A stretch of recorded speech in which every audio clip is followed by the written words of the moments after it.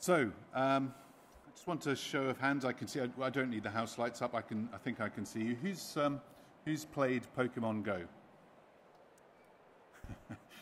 Incredible. Um, yeah. So, half a billion people have downloaded Pokemon Go since it was launched. That's, that's incredible, isn't it? You know, just. Uh, um, you know, just that short time, it's just taken over the world. Who knows whether it's going to be here tomorrow? Uh, but um, you know, it just shows what um, augmented reality can do. I think it's something that we've been uh, talking about for many years that, that was going to be possible. But this is actually, I think, the first tangible example of where, where, it's, where it's worked really well. The sort of interface between uh, the digital and the real worlds. But um, you know, my question is for, for today's panel: is is that the best that we can expect? And are, are there any um, cases, that, use cases that we have for, for travel and tourism? And, I, and I'm hoping that uh, they're going to say that we can.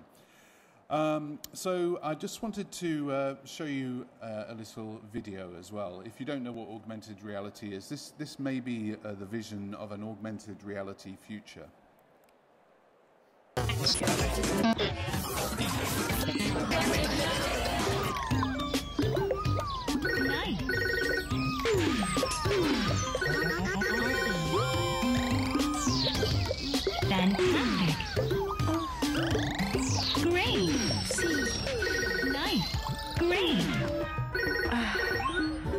Tarde. Apúrate si quieres una buena calificación. Voy lo más rápido que puedo. ¿Has pensado en correr? Es saludable y eficiente. Seguro que no hay más trabajos disponibles. Yo estudié para ser profesora y estoy haciendo mercados. Y además puedes quedarte con los puntos de fidelización. Eres una monje afortunada. Tienes que confiar en la aplicación. ¿Te sientes inspirada? Gracias. Chao.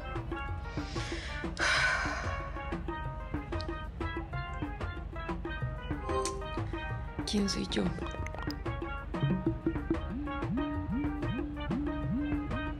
No, eso no es lo que quiero decir.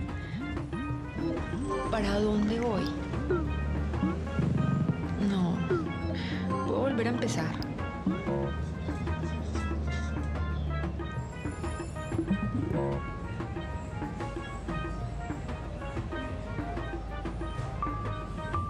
Olvídalo. Estoy presente ahora. Me amo. Estoy libre de mi ira. Libre de mi tristeza. El amor es mi instrumento.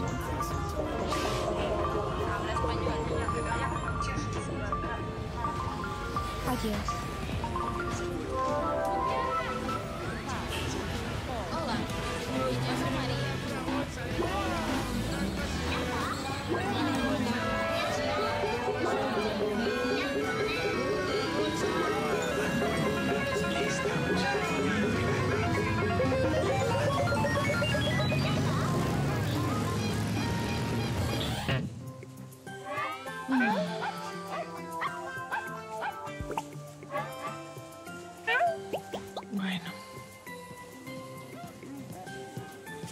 otra vez.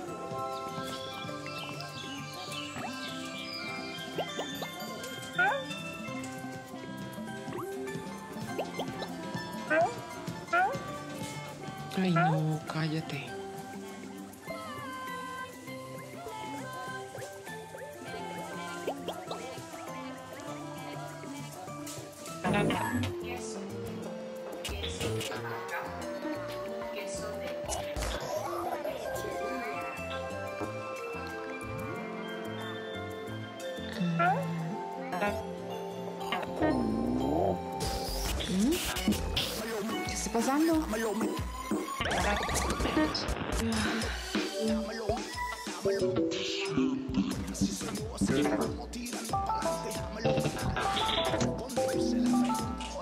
Buen día, Emilio. ¿Qué puedo hacer por usted? ¿Qué está pasando? Mis puntos están bien. No se preocupe, sus puntos están seguros conmigo. ¿Le puedo ayudar en algo más, Emilio? Yo no soy Emilio, yo soy Juliana Restrepo. Por favor, espere. Hola, Juliana Restrepo. Me alegra verte. ¿Qué puedo hacer por ti? Mis puntos están bien. ¿Qué está pasando? Tranquila, todo está bien. Parece que alguien está intentando vulnerar su cuenta. Por favor, espere mientras reinicio su dispositivo.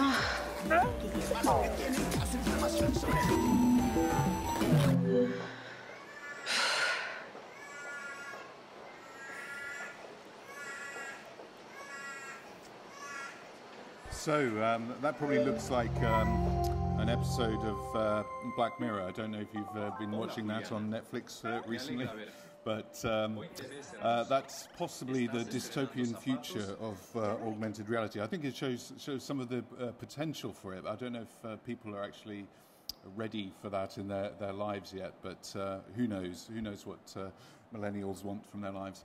Um, anyway, if we can just finish the video there, thank you. Um, I'd like to introduce my panel today. I'm very happy to be joined by Daniel Egloff from Basel Tourism and uh, Nick Larson uh, from Time Looper. Uh, sadly, uh, Cy Brown from Skynes is unable to join us today, and we hope he's uh, better soon. Uh, and hope you weren't uh, coming to see him, but um, I'm sure um, we can share some information from Skynes afterwards if you'd like that. So see me afterwards.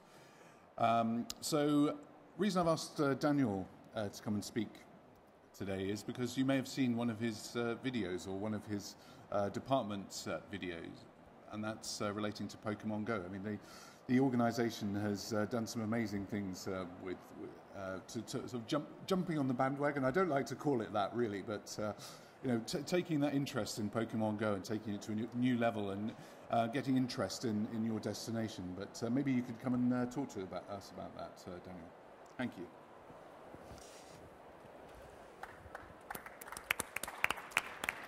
Yeah, thank you, Mark, uh, for inviting me um, to this uh, panel. Yeah, my name is Daniel. I'm working for the tourist uh, office of Basel. So our main goal is to keep our guests in the city or to bring new guests uh, to our uh, city. And therefore, we do uh, provide some uh, information office at the desk, like you know, in, uh, in every city you, you will find. And we do marketing on uh, on channels, uh, all the channels you know. And we had the idea to do, um, to use the Pokemon hype and uh, to try to bring our city by this video clip uh, to a worldwide audience. That was the idea, and uh, you know uh, better and as I, as I do, you have to do a lot of these clips till one is really hitting through the ceiling. But this one uh, was one of these, so uh, perhaps we have a look at it. Uh, what was the results of Pokemon Go turned by our team?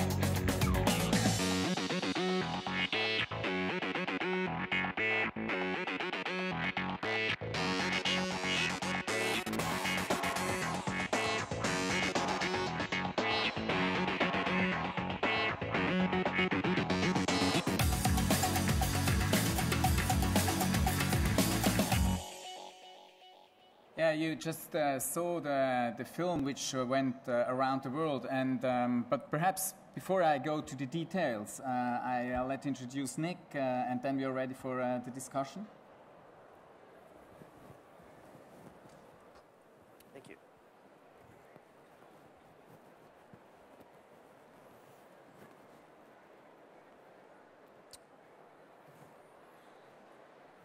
Can we cue up the presentation?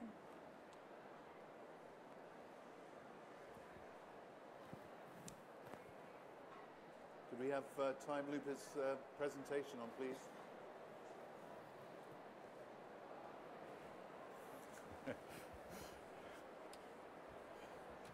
All right, well, we'll get started and they'll, uh, they'll catch up to us. Here we are. So my name is Nick Larson. Uh, I manage the European market for a company called Time Looper. So the market itself is huge in travel and tourism. That's no surprise. That's why we're all here today. The top 100 sites in the world see 1 billion people a year. So that's annual, it's evergreen. That market represents about 10, million, $10 billion in gated revenue. So that excludes ancillary spending like flights, hotels, that sort of thing. So it's a very attractive market. These are the most valuable pieces of real estate in the world. They bore witness to incredible moments in history, yet so often the experience at these different sites falls short of the former glory. So when you go there, they're either a partially deconstructed edifice, a field of grass, or, or best case, over commercialized. So, what we do at Time Looper is we've created a virtual attraction platform that allows visitors to these different sites to relive the pivotal events or moments that shape them. So, right now, I'm going to show you an example of content that we created for the Times Square Alliance in New York City. When people go to Times Square, they often don't realize it's the site of the infamous VJ Day Kiss in 1945, a moment that symbolized the euphoria at the end of World War II. So, what we've done is recreated that moment for them using virtual reality. And can we cue to the demo, please?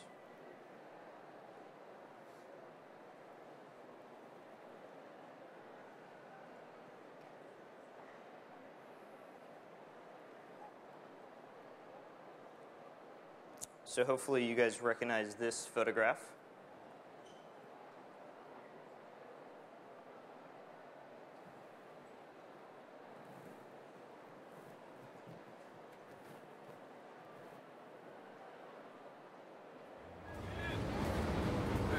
So this is Times Square today.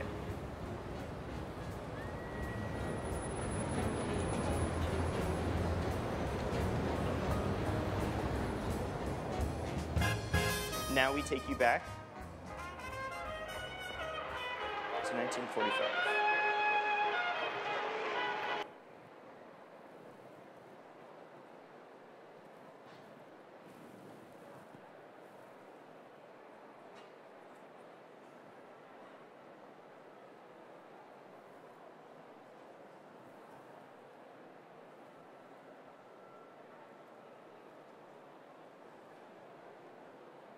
No, maybe. Looks like we're having some AV issues in the back.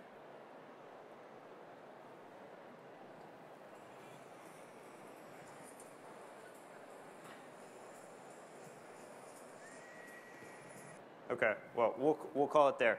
Hopefully, hopefully that gives you an idea of, uh, of what we do. But the point is, we take you to a site that, you know, without any other visual cues, you'd never be able to realize that these, this incredible moment happened there. Um, and so we bring it to life using your smartphone and the power of virtual reality. We are live at Tower Bridge starting December 1st. So when visitors arrive to Tower Bridge, they have the opportunity to purchase the Time Looper experience on top of their ticket price. They receive a cardboard headset, download the Time Looper app, and then experience three different moments throughout the exhibit. We do we recreate the construction of the bridge in the late 1800s. We do uh, the Great Fire of London from the vantage of the top of the bridge, and then we do we recreate um, a bridge lift using the old Basilisk powered steam engines in the engine room of the exhibit. We have three other pieces of content throughout the city of London. We do the Great Fire outside of St. Paul's Cathedral, medieval times outside of the Tower Bridge, and the Blitz during World War II in Trafalgar Square. We also work in education and broadcast media. Uh, within the education sphere, we work with Google Expedition. The idea is that now students should not only be able to read and study the Great Fire in their textbook, but they should be able to read about it, study it, and then see what it was like to actually be there during the Great Fire of London. we did, uh, we made a partnership with CNN earlier this year, and we recreated three events to coincide with Tom Hanks' tribute to the 80s. So, in the course of the television show, they cover the Challenger crash, the fall of the Berlin Wall, and the death of John Lennon.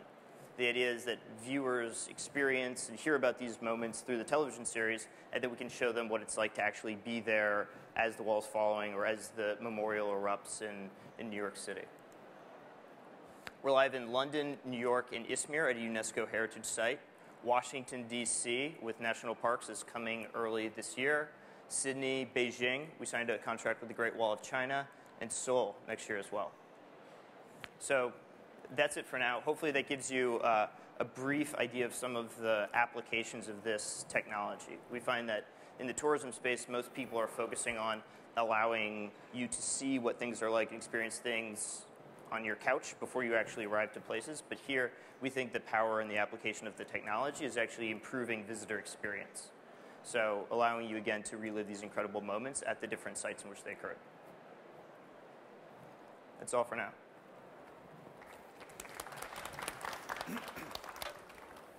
Uh, thanks for that, Nick, and, uh, and I'm sure you can uh, show people that uh, afterwards if, uh, if they want to have a look at it. Absolutely. they always say not to work with children and animals, don't they? But uh, live technology demonstrations are up there as well. Yeah.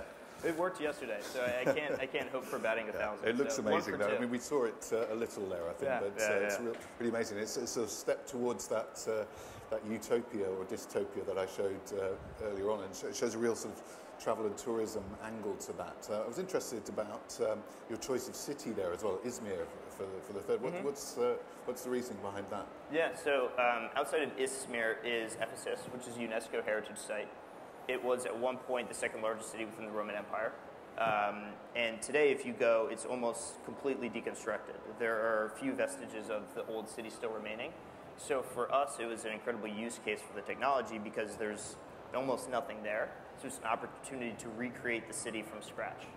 Um, and they do they do something similar on site today with pictures and um, and written narrative. But the technology has gotten good enough there that you shouldn't just rely on on written text or um, an audio guide to tell you what a place should be was like back at a point in time. You should be able to actually see it and and relive it for yourself. And so you had a, a rollout of city, cities there. Um, how are you deciding on those uh, going forward? Is it some investment that you need from the cities, you know, from uh, Visit, Visit London, London and Partners, those, those sorts of people to get this off the ground? Yeah, so um, so a partnership. We've been working with London and partners here within the city of London. They're charged. They're the, the marketing arm of the mayor's office, and I'm sure some of you know they're charged with promoting economic development and tourism within the city of London. So for us, there's a great synergy between our business models. We focus on providing economics on site, but then also controlling the flow of traffic within the sites themselves. So when viewers go to one site, they experience the content, and then we push them to other sites because you have to be there to actually experience the moments.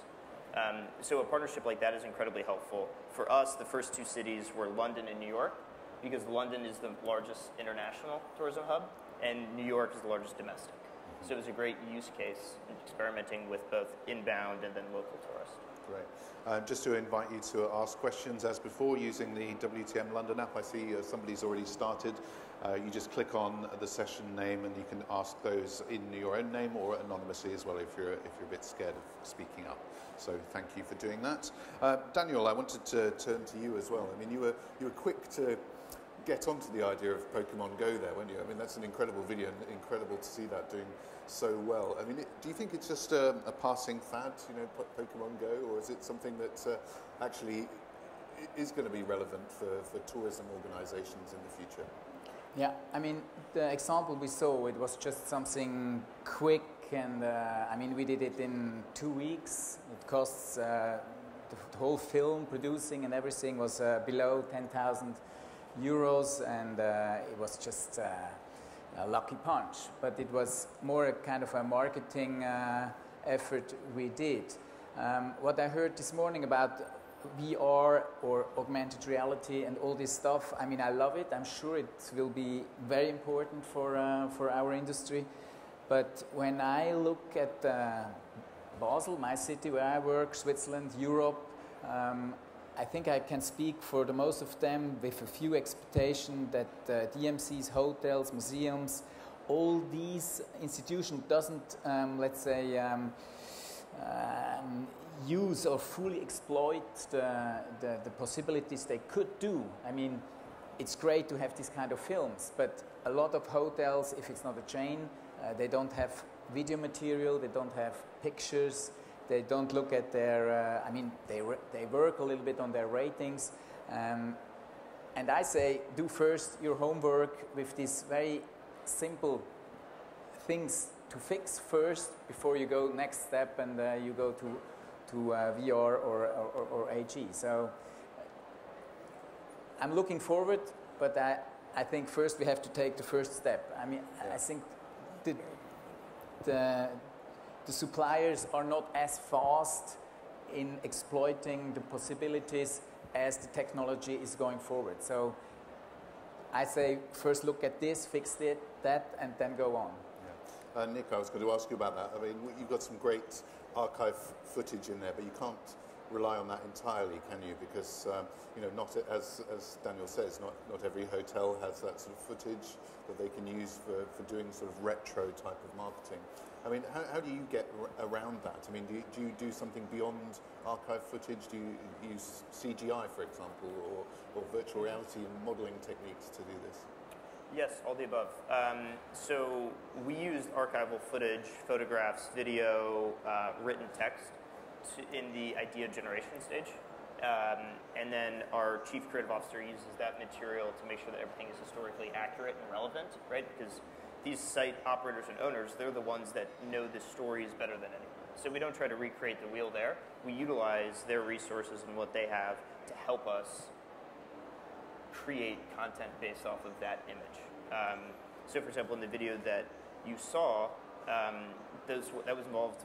We we filmed on site, 360 degree video, but the vast majority of the work was done in the production studio. So we recreate the historical backdrop with matte painting so we recreate basically a, a, a, new world and then film against a green screen and overlay that to create the experience. So most of it happens in the studio and in and a lot of post-production work. Yeah. Um, I'm always slightly worried about uh, sort of technologies like this in, in travel and tourism in that, um, you know, it introduces a barrier between you and the experience. You know, so after all, you know, when, when we're traveling, we want to, you know, f- feel, you know, the grass on, you know, a beautiful meadow, in, in you know, or, or feel the, the sea breeze on our face. But um, you know, when you're using virtual reality or augmented reality, you, have got to have a device in front of you, haven't you? I mean, mm-hmm. do you think that spoils the experience? Um, you know, for, for, having that barrier in between you. I, I don't know if you you have thoughts on that. Yeah, I, I don't. Um, so we cater all of our experiences to complement existing narratives that are told on site, right? So it's it's really we're not invent we're not reinventing the re, the wheel. What we do is already a, sites already attempt to do through again written text or pictures or short videos. Um, we just do it in a better way and tell those stories with virtual reality. But for example, at, at Tower Bridge, those three videos that we've created for the experience each of those is between 90 seconds and two minutes. So it's a flashback at different points through the exhibit. It's not, um, and it's a, it's a very small part of the exhibit. It's powerful, but it's very small. If someone goes and spends an hour going through the museum and the, the, the engine room and the gift shop, then you know you're talking about a, a four to six minute experience that's complementing that. Okay. Um, do you have any thoughts on that? Do you know the barrier that uh, these devices are having, particularly people coming yeah. to, to Basel to uh, play Pokemon Go after seeing your video, for example? No, but I, I agree, and I think uh, the technique will uh, going on, and uh, in some years uh, everything will be in my glasses. So I don't think that this barrier will still exist in, in, in some years. Um, but the question is more, do I want all this information? I loved your film you showed at the beginning of the session. Um, I'm sometimes too much. I don't want to know all these things, perhaps. So I, I think you have to find a good balance between uh, that your client will find the useful information, uh, like some good pictures, uh, some, some good uh, recommendations very quickly, and then when he want to go deeper and deeper, uh, why not? Um, but sometimes can also be too much. Uh, so I think technique will handle it. We will handle the technique, but the question will, will be how much we will use it. So um, Pokemon Go, I can see there's a question about um, more on Pokemon Go in, in Basel. You know, what, what, what next? How do you, how do you capitalise on that interest in, in Basel? Do you d- produce more Pokemon Go related content or work with the Niantic, the, uh, the company behind that, to, to, to try and uh, drive you know, more Yeah. visitors to the city? No, I mean, to be honest, it was a lucky punch. I mean, you can't planify such a success uh, that the video went around the globe. So it's difficult to make your strategy on, on a lucky punch. So, as I said before, first do your homework, uh, your solid work, and then when you have some spare money, uh, try, uh, try something out. Uh, but you never can, can be sure that it will be shared by the community, uh, so it's high risk. So.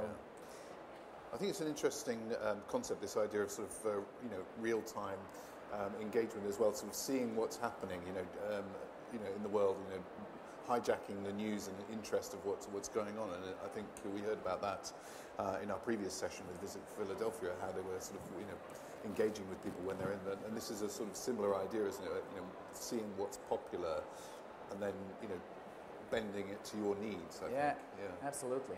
Especially for the marketing part, that uh, that you you can do this during these two three months. You have to be one of the first, and then it's gone.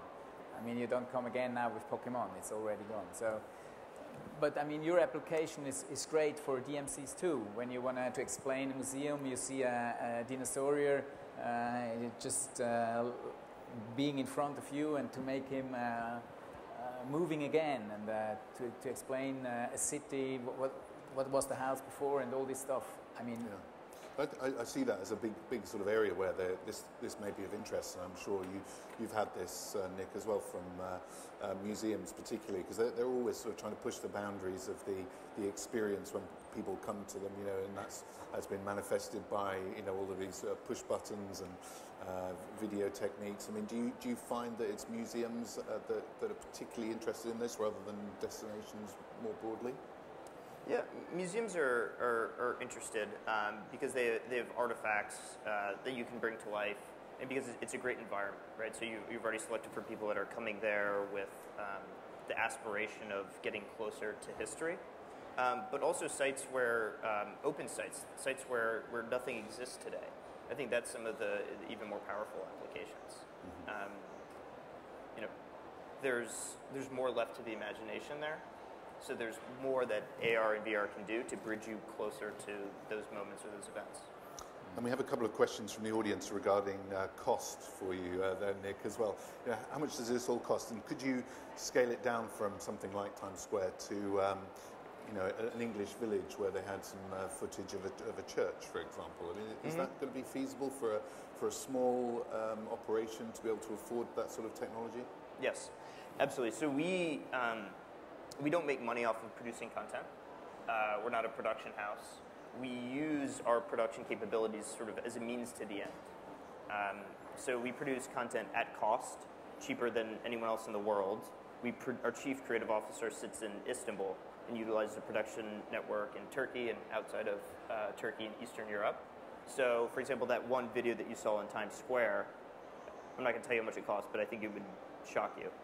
Um, In so the answer way. is In a good way. in a good way. Yes, yes, yes. Sorry, in a, in a good way. Um, so we, we focus on the partnership that happens after we've created the content. So marketing and on-site activating points of sale for these different museums or government entities, um, and that's how that's how we make money. So the content is incre- incredibly inexpensive to, to produce. Right, okay. Um, so we've got a question about local and authentic experiences, and I think that's uh, an interesting point. That's related to costs, obviously, as well. But uh, do you think uh, there's there's scope to use this sort of technology in um, you know linking it with uh, local, authentic Swiss uh, experiences, for example? Yeah, I talked about homework before, and um, when I see our guests moving in the city, they're all looking for free Wi-Fi. Where is free Wi-Fi here? Because it's uh, expensive still. And uh, I ask myself, why are we not? We are, we are talking so much in the future, but till the basics, like like giving all the guests free internet access in the city, it's it's not in every city the case. So I say there we have to invest uh, uh, first, and then I'm sure uh, if a museum or an authority starts producing uh, something, uh, another one sees uh, and, and, and, and says we don't we have this we don't have it and we, we need it too. So I think that will be step by step, like 10 years before the internet, uh, hotels started to have a photo, then they have a film, and then they have uh, augmented reality or virtual, virtual reality, and then, so I think, don't panic, take your steps, but do, do it. Yeah. Uh, Nick, do you think, um, you know, we, we talked about augmented reality, but, but virtual reality as well. I mean, are they um, inextricably linked, those two things? I mean, we've seen a huge amount of investment uh, from people like uh, Facebook in, in uh, virtual reality. Uh, do you see that as a, a, good channel for you going down that route? I do, yeah. So I think they do two very different things, and the the video that I showed was more a, a virtual reality experience than an augmented reality experience. But it was augmented reality in the sense that when you're on site, the video is directionally accurate, so it knows which way you're looking. So, for example, in Times Square, the Ernst & Young building is in front of you, billboard to your right, the orientation is accurate, so it becomes almost augmented reality in that sense. But uh, to answer your question, no, I don't think they're inextricably linked. I think they do two different things. Um, you know, it's like it's like a hammer and a wrench almost. Um, they're they're both new frontier technologies, but they provide the user with different experiences. So. Um, in the Times Square video, you're transported to a different point in time, right? So we've recreated everything. If you were at uh, the Smithsonian History Museum and you're looking at um, a, a, mammoth skeleton or something, and we brought that to life, that, that, that's also incredibly insightful and interesting, but they're just different, right? So it's not recreating a world or traveling back in time, it's um, showing you the way that a, an animal behaved or, or acted at a certain point in time. So I think they're, they're two very different use cases. Um, and just uh, sort of finally from me, I mean, do, do, you think that we're very far away from that uh, that film we showed at, at, the, at the front? I mean, is the technology that close to delivering that sort of experience? Do we do we have that all available to us at the moment? It just needs putting together. Uh, I don't know. The, the, I find that it always takes longer for these sort of things to materialize than people think. I mean, we've talked about augmented reality and virtual reality now for 10 years, um, and, and we're still not there. So I don't think I don't think it's, you know, this isn't a two or three year thing. Um, the, the hurdle that we need to overcome is we need to allow this technology or make this technology more ubiquitous in the market. So one of the problems that we still have is when tourists show up at Tower Bridge in London, they still aren't familiar with the technology. So then we have to educate them. What is virtual reality? And then, you know, how can this supplement and complement the experience that you can have at this location? Um, so from what we're seeing in the market, that that gap is still pretty big. Um, and taking it a step further, where you know people are using it in their day-to-day lives, is I think probably three plus years away. Mm, great. Uh, so that was all the time we had, unfortunately. Um, can people put their hands up if they think they can see a use for augmented reality uh, in their own uh, destinations and businesses? There's a few, that's good. Hope you get inspired by this. Um, thank you, uh, Nick. Thank you, Daniel, for sharing your um, experiences with this. I'm sure you'll stick around for, for a couple of minutes to answer any questions, uh, specific sure. ones that the audience have. Uh, but I just wanted to, to ask the audience to show their appreciation for our speakers today. Thank you.